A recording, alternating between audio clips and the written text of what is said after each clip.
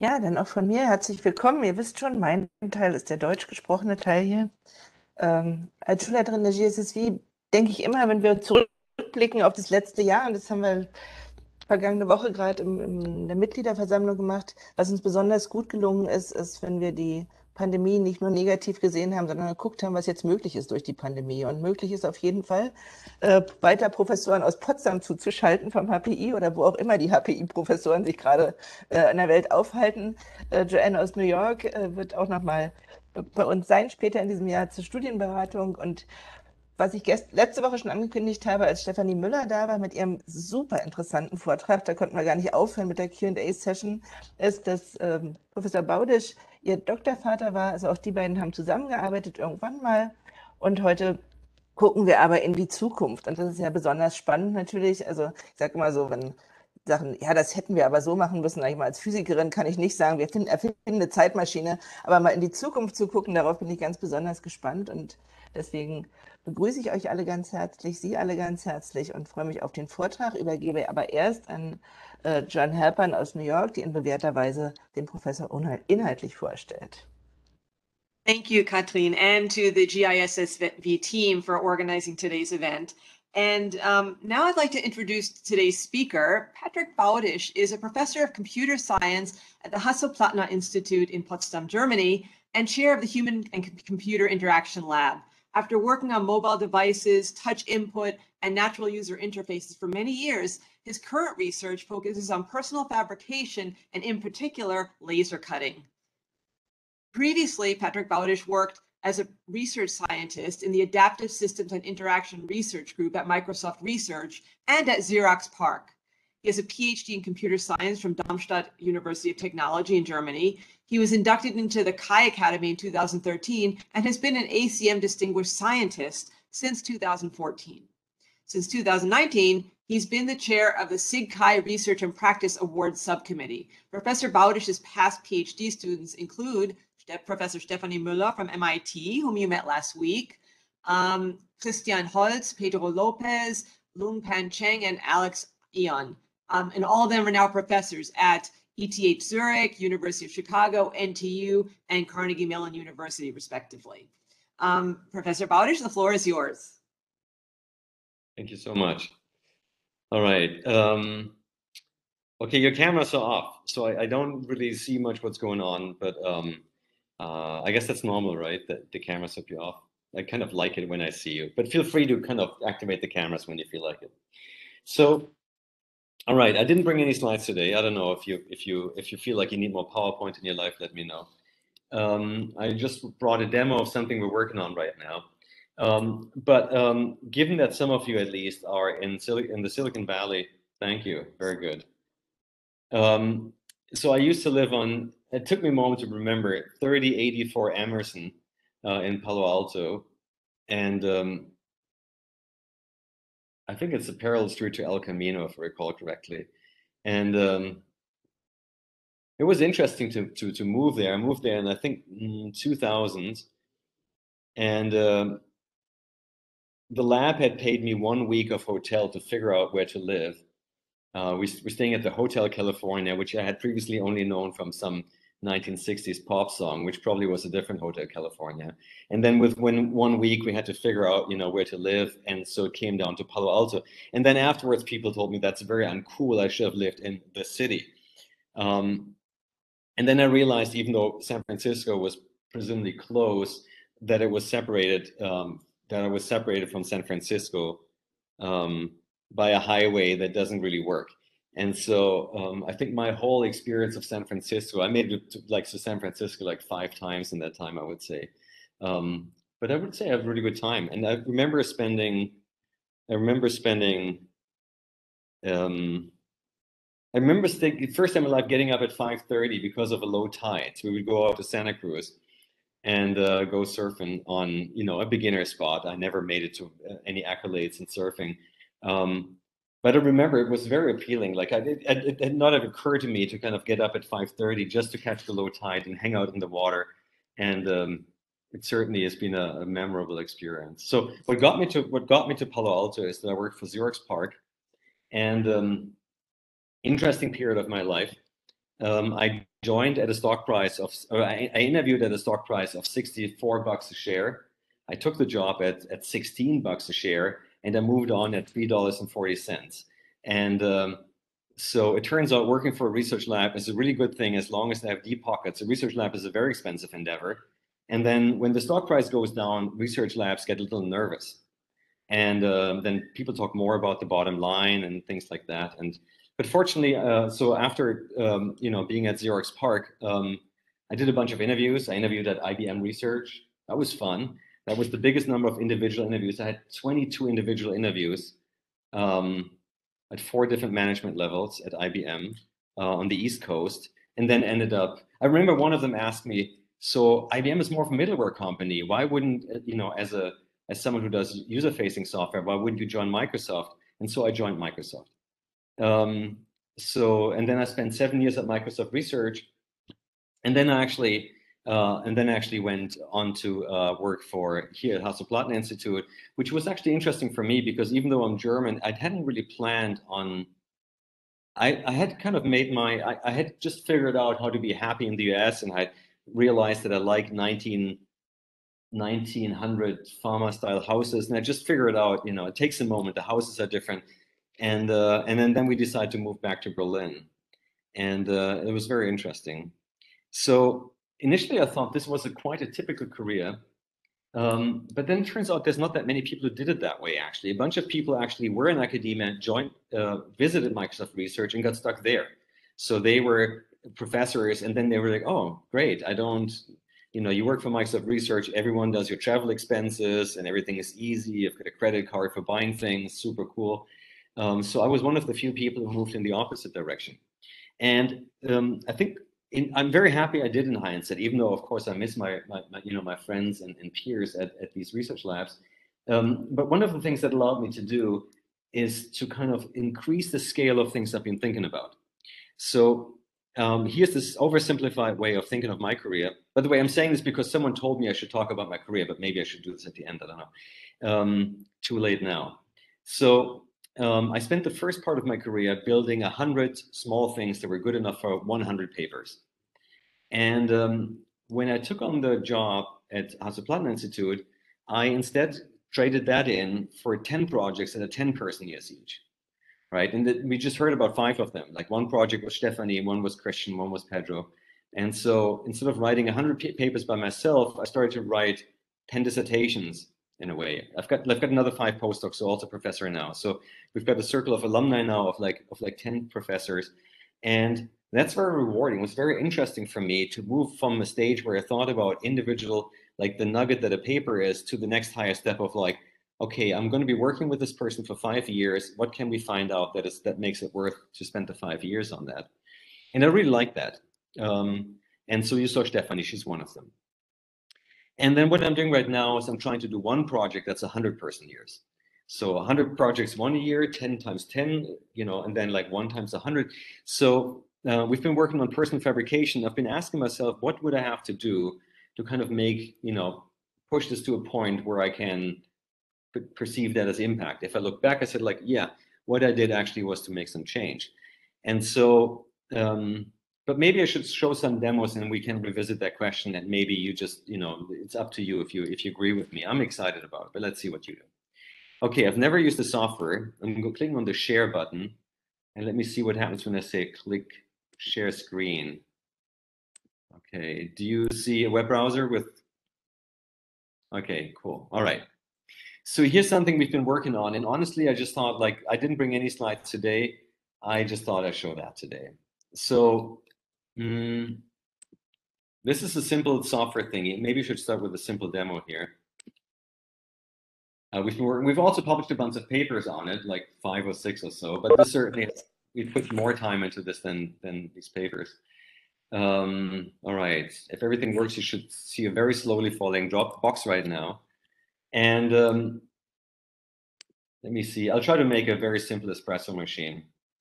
And if anyone recognized the interaction principle, if you've ever seen another software that kind of looks a bit like the same way, then let me know. By the way, something that just happened is, um, I don't know if that's interesting. Let me see, actually go two steps back. Um, so here, what I'll talk about this a bit later, maybe, but like what the software just did, it recognized that this was not structurally sound and inserted an internal plate that I didn't quite ask for. Um, so there's some smarts happening in the scene. Um, so at this point, this may or may not remind you of Minecraft. Um, so I'm creating some sort of a 3D sculpture by um, by just stacking a couple of, of, you know, we call them voxels on top of each other. And um, as you can see here, I can round things. So we're still pretty much in Minecraft world, but it's not exactly Minecraft. So I can, for example, I can, for example, scale these things here, and now it's not it's not just voxels anymore. It's some sort of a different shape, and um, you know, so I can make modifications. And let me, for good measure, I don't know if you recognize this as an espresso machine mock-up somehow, but you know, so you put, put some sort of cup in here, and then um, me see. So I like cubicle coffee because I'm from Seattle. And um, let me see if this works. All right, so I inserted two of them. Let me deal with one of them. So, oops.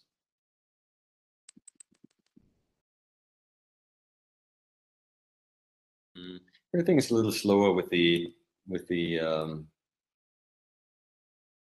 with the camera on at the same time, but I think you get the idea. Okay, so maybe that's what I want to do, just a, a simple mock-up with this. Um, so that's what I have. And so if I like this, what I can do now is I can say, uh, laser cut this. And it's going to take a moment, a little bit longer because the video is running. And what it does now, it actually converts this 3D model to, um, uh, you know, it, it, breaks it down into individual plates, which can then be sent to a laser cutter, which is a fabrication machine that is essentially an automated jigsaw. Let's look, look at what a laser cutter looks like. Okay, maybe that's the benefit of having PowerPoint, but I think we can figure this out. That's what it is. How, there's no way of getting feedback from you guys right now. I'm wondering how many of you have actually seen a laser cutter or operated one. Um, but maybe Stephanie talked about some too, I could imagine. So maybe that helps. So a laser cutter is a very simple machine. It's it's one that you know I think you know two of you and me we could make one over you know with the right parts over a weekend. There's some sort of a laser source which you buy. Um, then there's some mirrors that kind of mirror this around, and then some sort of a some sort of a carriage here that rides left and right, and that rides on another carriage or two carriages that, that, that move it back and forth. The mechanism is known as a, as a gantry, and it's kind of a little bit what you see at ports sometime. You have these big cranes that unload containers. It's the same kind of construction. And at the end is this kind of mirror and the lens. It focuses the laser and it cuts. And then you can do, I didn't prepare this, but that's what it looks like, right? So you can, you can, um, you can cut these things. There you are. Yeah, that summarizes it nicely. That's it. So, um, so that's what I just did. Um, so let me save this here. And you see how it just took my espresso machine and laid this thing out and, and stored it. Um, and what I can do now is I can now, um, okay, so one of the things it generated, for example, it generated not just a model, uh, but it also generated instructions. So it generated here um, a manual. So this is what it just, and this is all custom, that didn't exist a minute ago. Um, and it tells you in what order to assemble these to make sure you're not painting yourself into a corner as you of do this. Uh, another thing that it does, this is kind of interesting. This is you will only appreciate that if you've ever tried to use one of these machines. They all have different, you know. Oh, okay, I've got one here actually. Okay, that's great. I didn't anticipate that. Stop sharing for a second and show show that live. So um, you never quite know how much material the laser evaporates. So so when the laser cuts things, it will remove a certain material. It's not just the two halves, there's something missing in the middle um, because the, the, laser evaporates this material. And so what I can do now is I can, um, I ask myself, well, how much material was removed? And if I get this wrong, either I can't assemble the model because it's too tight, or it will fall apart because it's too loose. I try to get this really just right. And so um, this is just one of lots of nitty gritty little details um, this little thing allows me to try out different settings. Um, it's not very bright here. Let me see if I... So there's some sort of a scale on here. And um, I can insert this at various points. And if I get to the point where like, oh, that's exactly how like this feels pretty good to me here. That means it's just nicely nice and tight right now.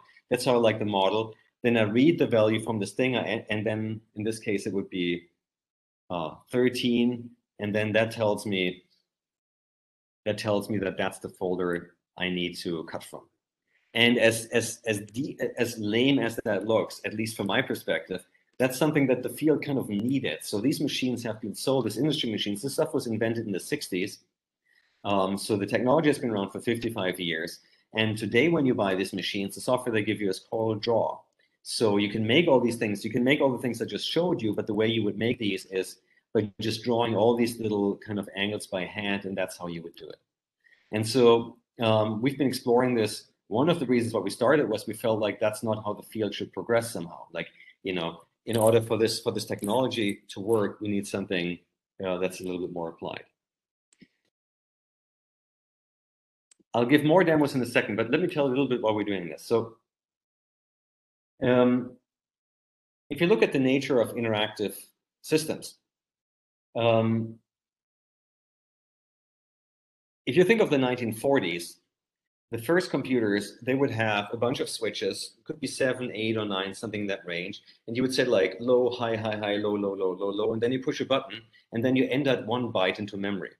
And then you would set the next couple of switches, you push the button again, you entered another byte. People quickly figured out that that was not very successful. Well, it was successful, but it was kind of slow. So people started to read punched tape, right? So you had like this, this tape with holes in it. You may have seen that. Uh, early prototypes include, I've got some, well, I, I said I'm not going to slide. So you just believe me. There's a tape with holes, and then they would read this, and that's a faster way of reading. And then people started to enter stuff on a keyboard, and it came out on a printer. And so we had the first kind of successful input-output interaction with one-dimensional thing called text. And then in the 60s and early 70s, people started to point. You know, there would be a graphics display, and things went from 1D to 2D. You would see the world as a 2D screen, and we'd point on it with a mouse or a light pen or any of these things. And then maybe recently, more recently, I don't know if any of you have ever worn a VR headset. Things have gotten three dimensional. Also an invention from the 60s, by the way. This has been around for a long, long time. But now you can buy virtual reality headsets and you interact in 3D. You've got these two controllers, six degrees of freedom. You're wearing a 3D headset. Very cool. So the, the history of interactive things has advanced from like zero dimensions to one dimension, two dimension, three dimensions. And the question is, what's next? Because I'm a researcher in human computer interaction, and I'm wondering what will the world be like in 50 years. And so everyone's equally invited to guess. And my guess is the next step after 3D, or could be more, 4D, I think it's going to be volumetric things. So I think it's going to be about physical matter. And um, what makes that interesting, I think, is that that as a computer scientist, when I started studying computer science in the uh, in the late 80s, I think the general assumption was that a computer scientist would write things that are data in, data out. You have some sort of a program, it accepts data as input and produces data as output. But more recently, if you look at the evolution of 3D printers, you know, uh, laser cutters, milling machines, which are computer controlled, and you know, I, I assume that you know Stephanie showed you a handful of those. Um, it seems not so clear anymore. If as a computer scientist that you'd be limited to a world of data maybe as a computer scientist you could reach out and actually take control over some parts of the physical world. I find that very appealing because in some when i got my high school degree i initially had i not gone to university i would have become a carpenter. So i like the idea of, of physicality. I think that's really interesting. And i really like the idea i like both. I like the idea of computer science because it scales really well as a computer scientist, I can do things to thousands or hundred thousands or you know hundreds of millions of people at the same time. I've I can have tremendous influence, which I really like. Um, but I also like the physicality of you know being a carpenter, if you will. And so what I'm doing right now is I'm trying to get these two things together um, and seeing how far this can go. The reason why I find this interesting is because this movement of dealing with these machines has been around for quite a while. Um, the person driving this, uh, his name is Neil Gershenfeld. He also hangs out at MIT at the Bits and Atoms lab, which he leads. And um, Neil Gershenfeld, um, and I like him very much, and I'm a big fan of his. I've been to his class. We've had dinner in Berlin, all good. But I'm not sure if, like, so what happens is that the number of fab labs, and I know this, like, you got tech shop, you got everything in, in, in the Bay Area. It's awesome. You got all the cool stuff. But the interesting question is how influential will Fab Labs be in the future? So one possible future is, well, you know, Fab Labs, the number of Fab Labs is going to grow, and sometime in the future, everyone will be a maker. Seems like a viable, you know, that seems like a reasonable assumption to make. And in many ways, I think the assumption that was made when 20 years ago people started to create Fab Labs. Um, but we don't know. And so when you look at the number of Fab Labs, initially they kind of, you see the hockey stick somehow, you see some sort of exponential growth, it's been tapering off recently. So the number of Fab Labs, if you just take that as sort of a raw you know, raw factor somehow, it's not clear. It's not, if you, let's just let this Fab Lab movement run for a very long time, it's not clear that the assumption will work that everyone will become a maker. And so the, the I mean, the competing hypothesis would be, well, not everyone will be a maker, maybe only the people who have a natural inclination to being an engineers. I feel very much at home at being a maker. I feel I'm having a good time at tech shop and and uh, you know any fab lab wonderful i love it very much i love doing these types of projects but it's not clear if it will reach everyone so um, and recently you saw you know with 1600 fab labs 1800 i'm thinking it's going to go to two and a half thousand it's not clear what comes after um, can you and I, you know, I know there's lots of fab labs in the Bay Area, but it's not quite representative of the rest of the world. And there's Tech Shop, which I love and but it's not clear how they're going to continue to grow. So what we've been asking ourselves, like, you know, what can we like? What's what are the possible futures of of the Fab Lab movement and on the maker culture? Where could it possibly go? And um, so one of the things we did for a while, we thought like, well, okay, and that's and that includes Stephanie and me for that matter. Well, let's start building software. Like that's a good idea. But more recently, we felt that's not quite enough. We actually need to do a full end-to-end kind of that's at least a theory right now. Maybe it's not enough to just give people smart machines. Maybe the smart machine needs to come with smart software. Maybe the smart software needs to come with a smart curriculum. Um, very much, for example, for my daughter, I've got a daughter who's just turned seven, and we've got uh, KiwiCo uh, things at home. I don't know if anyone has seen that stuff. I, I, like it very much. I think that's very cool and very well worked out. Um, good content, so we like that. All right, so to go back to this idea, this is where we came from. We were wondering how to, you know, how will this continue to go? I think as a scientist, if you've got the choice, so as a scientist, you kind of need to pick what you want to work on. And I really like the idea of working on something that's some sort of a tipping point, right? You, I could join some sort of a well-established field like virtual reality. We've done a little of this. At this, it wasn't well-established 15 years ago, but today it's really, really well-established. And uh, I could contribute a little bit but if I pick something that's in sort of a turning point where it's like, well, the world could go this way. Maybe we're going to let this run in like 20 years. We're going to have not 1,800 fab labs, but maybe 3,000. You know, that's that's ample. Um, or I could pick something that is, um, you know, if but maybe if I contribute, maybe I could get this to like scale up a factor of 10. Maybe I can scale, it to scale up a factor of 100. Maybe I can scale a factor of a thousand. And if I could do that, that would be very meaningful because all the work that I and everyone in my field had done would now apply to a thousand times more people. And I like this as a scientist. That's kind of one of the ideas that you want to do as a scientist. You want to, you know, influence the world. That's a little bit why you're doing this job. So so yeah, so I felt this could be interesting, right? I felt like the whole time, normally as a scientist, what you do is you build things just as a prototype, and then you wait for someone to come along and commercialize what you're doing. So we've been wondering if we should try to do this ourselves. So what I just showed you is something we're going to try to spin out next year, and uh, we're going to see, you know, if this if this can change things. So let me tell you who we're doing this with, and uh, we're working with schools. So let me just show you. Let me look at this. Close this down. So here's here. Oh, I need to turn the um, sharing back on. Right. All right, you should see my screen again. And uh, so here we did a workshop. This was the first thing we did. That wasn't with students, that was with teachers at the time. And here the teachers, they all built, ah, okay. I can always see the latest project here. Um, uh, we built cajones. Um, that was the first thing we did. And as part of this, we sent them through a sequence of different challenges. And then this workshop would be a two-day format. We would start with a bunch of challenges, try things out. And the system we have is fast enough to allow building within a class. And we really like this idea. So uh, as part of this, everyone had to design a series of guitar stands. So they had to replicate this one and then design a, a fresh one. And then we would look at the things that were designed, and um, then in class we would start fabricating some of these and could try them actually out. And then the next day we would have these things manufactured and people built them. There's a physical component to it.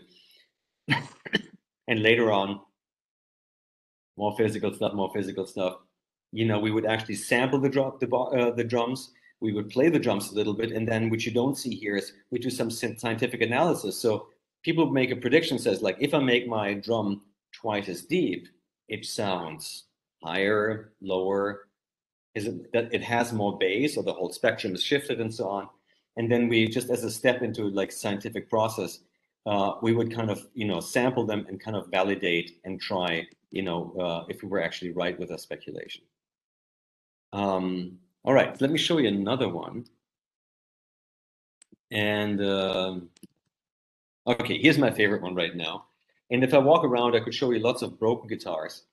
Um, uh, what's fun about this is whenever we show this, what we're doing here to guitar makers, so that's part of what we do. Oops, I can't show this yet. Um, we always bring in some experts to develop content with them. And so we've been talking to four different sets of guitar makers at this point.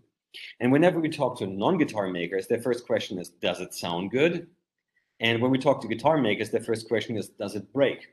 Because it turns out making a guitar that doesn't break is very hard. I know because we've broken three of them so far and made seven that haven't broken yet. Um, all right, let me show you. Let me show you what this class is like and you know what we think what teaching could be like. So any workshop in that case ends with something being built. So this is this is actually a good example. It's like half German, half half American. This is um, Schenker is his name. He is the guitar from the 80s, 90s, whatever rock band called the Scorpions. Um, and he has some sort of a wide guitar. So the, the last challenge is just an invitation for every student to make an unusual guitar uh, for themselves to take home.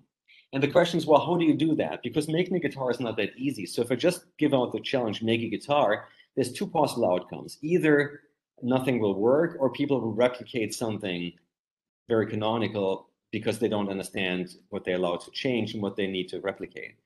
So what we do is before we do that, um, we go through a bunch of different challenges, each of which illustrate one point. So uh, the first one is, you know, a simple, like the lamest example you could possibly think of.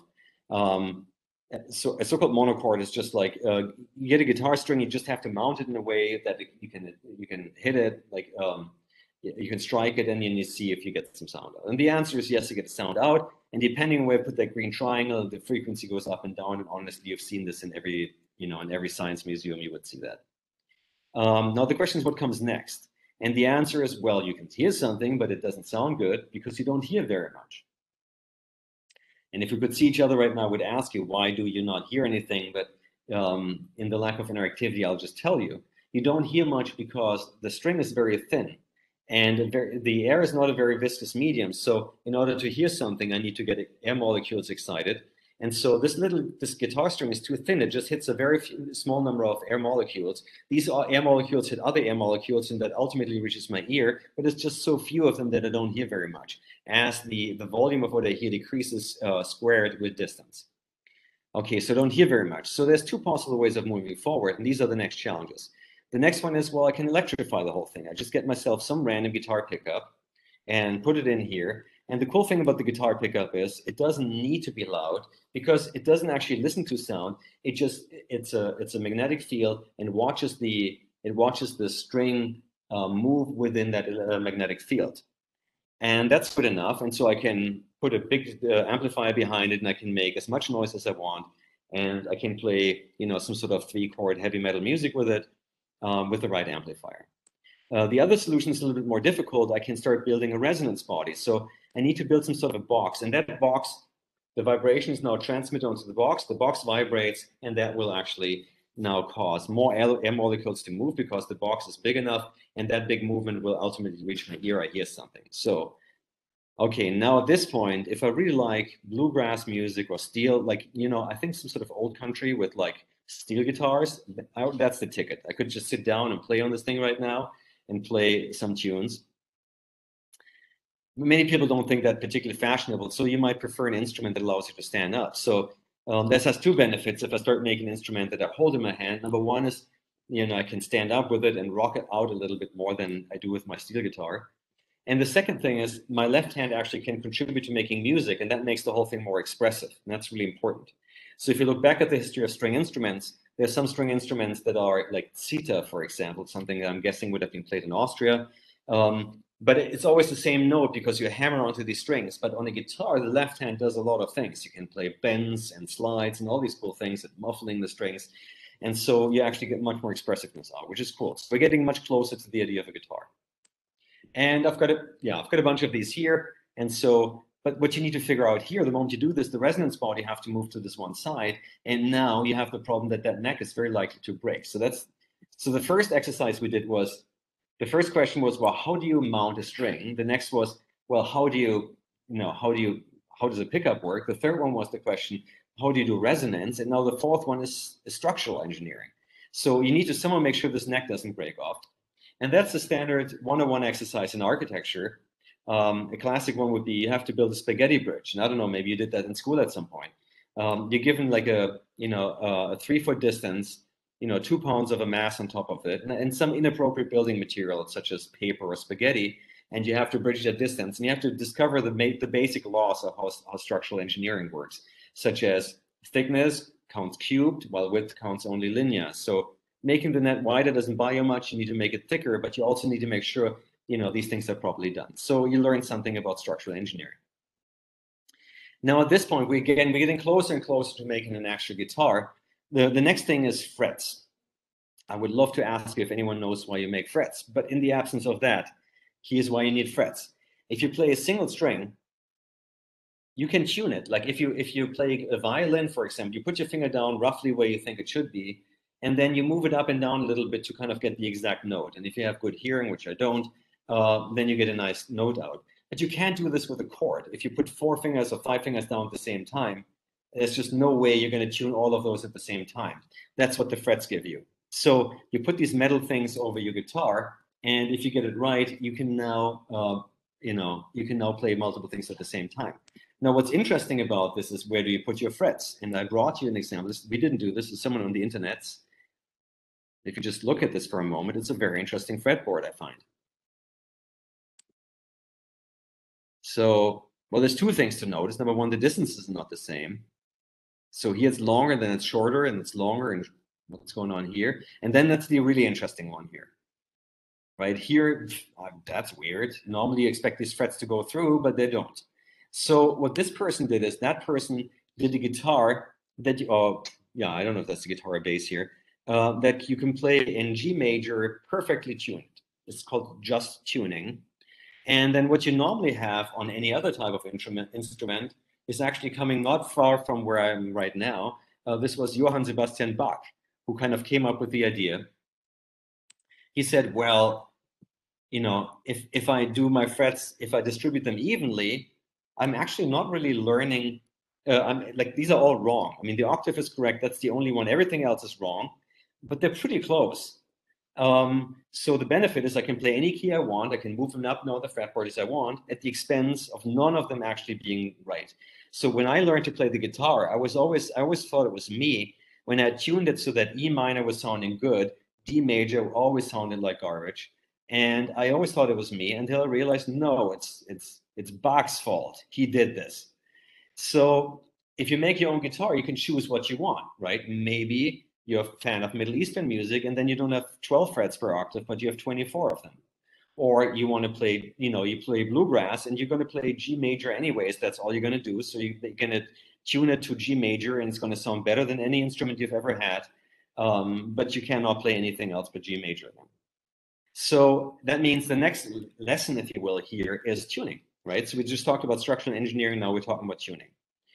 So all right, the next steps are more straightforward. This is a design we found on the internet. It's a very simple electric guitar with a pickup, um, pretty straightforward. And uh, oh shit, uh, uh, I forgot how long. What's the format? Because Stephanie mentioned something about as a break or something, or no? No, no break. Maybe an hour. About an hour. I see. Okay, all good. Okay. Um, so um, right, so that's a simple electric guitar design. Electric guitars are not super difficult to do because the shape doesn't really matter for that matter. Um, so you can just do that. And then the next thing is like build a simple acoustic guitar. What you don't see is something called bracing, which is under the, the soundboard here, which uh, has a structural function of preventing it from breaking, but also uh, adds to the sound. And then the next thing is uh, a Western guitar, uh, which actually contains a steel spring hidden in the neck that makes it more sturdy, called the truss rod. And when you've done these things, then essentially you've, you know, now you can make your own, you know, acoustic guitar and you have a rough idea what to do. And now you're invited to elaborate. If you went down the electric route, maybe you want to, that's a separate workshop. Maybe you want to go build a speaker with that goes with the guitar. And otherwise, you're just going to start thinking about designing a guitar, which may have the shape or may be something completely different. But ideally, at this point, you have um, kind of a little bit of the background knowledge you need uh, to understand why it is. You need to understand why the bridge is there. You know, the, the bridge is, is, is, um, is this thing here uh, the bridge is the very, most important point of the guitar, if you will. It translates the vibration of the string onto the soundboard, which then kind of resonates. There you go. So that's that's that's an example of what we think of as a workshop. And um, so the reason why we think this is interesting is um, because we think that we can go past the complexity typically built in fab labs. We think we can make more ambitious projects that actually where you, where students learn not just making per, per, se, not just how to operate the laser cutter, but actually uh, I can embed le lessons from architecture and music and you know all these other kind of disciplines, create something interdisciplinary and reasonably complex. Um, all right, and that's what we've been doing. So here's a couple of examples. I don't need this one anymore. Um, Yeah, airplanes are fun too. We're working on airplanes right now. Here's a workshop we did with some uh, seventh graders. Um, a few things that came out of it. So they all kind of designed their own loudspeakers. Um, my favorite project. Oh, okay, we don't. That's my daughter Philippa, and um, and uh, for for them we did something. Let me just show this in a. Actually, show this in a different. Uh, yeah, here, this is kind of interesting. That's what we're doing right now. Uh, we're trying to reach people in more elementary school. So we're doing this material. This is foam core. You may have used this in the past for making poster boards. And we're using the laser cutter to not cut all the way through, but just partially. And we get something where all the parts stick together. So it's something that assembles very, very quickly. Let me run this again. And it's very addictive. It's a wrap. You first have to peel out these little corners there, and then you fold this up. And um, so we're exploring how to take this both to disciplines where the look matters because it's white, right? So we can use it for industrial design or architecture, but also for like, um, you know, kids in, in their earlier stages and kind of make these projects. And actually, I've, I've got one here. If you look at the camera, I love that stuff. It's very addictive. So um, I think I've shown most of the system what I wanted to show. Um, so the reason we well maybe the last thing to explain is how we got going with the schools so i told the story from my perspective i'm an engineer and a, and a scientist i'm really interested in the transition of technology into the future i'm wondering i as a person who works in interactive system what do i have to do to influence the future and i think after we've seen the transition from text to graphics to 3d i think that vol volume physical mass could be the next step. Maybe I'm wrong, and then you will never hear of me again. Obviously, that's the that's the fate of a scientist. If you guess wrong, well, then you just you lose, right? But it's better to guess than not to guess, right? You need to make you put your money onto something. So you make some sort of a wild guess. You make some prediction of the future, and then for your career, you just assume that that's true. You try to get to the office every morning. You don't doubt that. You just move forward on it. And I think there's a good chance that the same way that other areas of the you know, there's lots of areas that used to be independent of computing that turned into computing. So for example, text editing used to be something, if I submit a paper, they ask me for a camera ready copy. Where's the camera? Well, there used to be a camera like 40 years ago. Um, the very first time I submitted a paper in 1996, um, I actually, I think they still did that they laid out the paper and then they put the page numbers on it as paper snippets and they put some sheet of glass over it and took a photograph and that went to some lino to kind of you know to be printed today obviously uh, printing is completely digital at this point so so this this this pattern that i just showed you that like some sort of the presence of a 3d scanner and a 3d printer or like some scanner and a laser cutter and these things i see of that as a pattern and for me this reminds me of other tr transitions i've seen in the past such as people had a scanner and people had a laser printer. Gary Starkweather, a former colleague of mine, invented laser printing at Xerox PARC, actually, and was at Microsoft Research later, and it really changed the field. PostScript made everything portable, and at some point the entire field became digital. Uh, video editing, just around the corner from you. I mean, you guys are at a super cool spot because all this action happened just around the corner from where you are.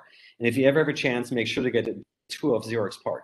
Um, I was there way later than that, so I am, I have no contribution to any of this glorious history.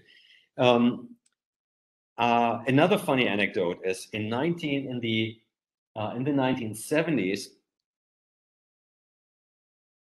As you know, the, the Xerox Alto came out of Xerox PARC, which was the, the first personal computer. In the 1960s, also in the, in the Silicon Valley, uh, Doug Engelbart, who's kind of the biggest hero of the field of interactive computing, um, he gave a demo known as the mother of all demos, um, and uh, he just showed a system that interactively allowed him personally to interact with the computer. Very, very cool. I mean, completely lame from your perspective because it completely happened.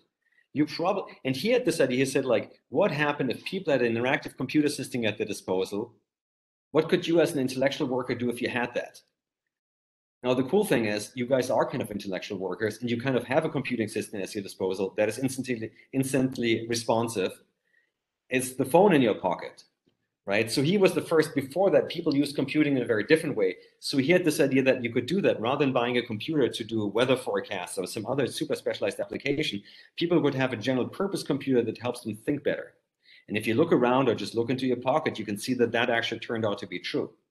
And so then the 70s, people at Xerox PARC added the graphical user interface to that and the idea of pointing on things with the mouse, which Engelbart already had a little bit of and they created the alto and then the star and then they in the in between they invited steve jobs who kind of ripped the whole thing off. And then my former boss bill gates ripped them off. And so there's this history of ripping off somehow. And um, and the, the nice anecdote i want to tell is um, there was a guy called dick shoup and his he had this idea of using computers for video editing. He would have his artist friends over at night and they would digitize a couple of frames of videotape into the computer, uh, spend the night painting around in it, and write it back to tape the next morning. And the people who just invented the personal computer threatened to fire him because that was such a waste of company resources. Um, he invented digital video editing. He also invented a multi-billion dollar business, which also Xerox made zero benefit of because they didn't get they, they didn't get that Xerox didn't get that personal computing was the next big thing. And then the people the personal computing thing didn't get that video editing was the next big thing. Uh, but in all of these things, I see patterns. I see things where like something was an analog process. Someone threw in two parts, which is something that digitizes contents and something that makes it analog afterwards. And I see that same pattern today in fabrication. That pattern changed print. That, that, that pattern changed video editing that pattern changed sound editing, right? I mean, you can all have a sound studio today at home and you can make sound, you can record, you can remix, you can publish all these things as part of your mobile phone, for all I know. And so I think I recognize this pattern and I'm randomly betting without any evidence that the next thing where I see this pattern is going to be in personal fabrication. It could be in 3D printing and it could be in laser cutting or any of those. And I personally am convinced enough to kind of invest my work into this and see if I can drive this forward. The reason this is working with schools right now is, and maybe that's the conclusion of this, is the schools have kind of a separate, almost inverse problem to that. And I don't know about you guys. The problem that the schools are having is they are um, they see their kids, and I guess that's you guys, wander off into the digital world, and the school can't quite follow. And at least some of the schools I've talked to, that causes them pain. Um, it's a really weird thing. I can fully relate to that. So the school cannot, it's not allowed to follow. If the school went, followed you down TikTok and whatever it is, the school could not fulfill its purpose that society is has has that schools are on a mission. Society has given them a mission to prepare people for the physical world. They have to do that, and they can't follow you into the digital world, and that leaves some tension that makes that creates makes them uneasy for good reasons. And so, uh, what we're trying to do with the software I just showed you right now, which is just the first stepping stone of the different things we're planning to do, is we're working with schools to help them bring analog and digital together. So what we do is the, uh, the, the students build in a digital way using the tools I just showed uh, in a web browser, on a tablet, on a phone, they, they, they construct things, but then there's always a physical phase afterwards. And we we feel that with some of the people we work with, that this alleviates that pain because it kind of closes, it brings the chasm, it closes some of the chasm and brings analog and digital back together. And so that's what we're exploring right now. That's what we like. So, and if you have any thoughts on that and any input, something I should look at or so, I'll be very happy to, you know, get your emails on that. And that would be the end of my talk. All right. Thank you very much. That was a very interesting talk. Uh, from the format and everything was unexpected and very interesting, at least from my perspective. So now, uh, um, so now I'm opening the Q and A ses session, and for that one, I stop the recording. Okay.